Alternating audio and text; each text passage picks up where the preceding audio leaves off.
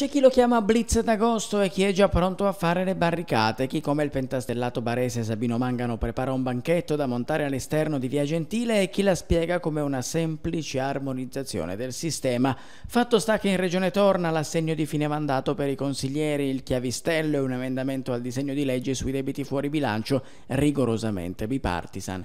Era stato abolito nel 2012 ma torna con la benedizione dei capigruppo e il voto unanime dell'Assemblea. Nessun regalone d'estate tuonano. Nello specifico il dispositivo prevede che a partire da gennaio 2013 chi ha occupato lo scranno in consiglio o in giunta ha diritto all'assegno di fine mandato, anche in caso di carica cessata in itinere. L'ammontare, cita il documento, è fissato nella misura dell'ultima mensilità dell'indennità di carica lorda percepita, moltiplicato per ogni anno di effettivo esercizio e con trattenuta dell'1% per la corresponsione dell'assegno tutto risolto, tutt'altro, e così a gridare allo scandalo Antonella Laricchia, assente durante la seduta in questione, rimasta nel gruppo del movimento e costretta, dal suo di punto di vista, a incassare pure la firma della sua capogruppo in calce, la quale a sua volta fa sapere che per il movimento l'accantonamento sarà ridotto. Normalmente sono i lavoratori ad accantonare la quota mensile per il TFR, altro che normalità, contesta l'ex candidata presidente.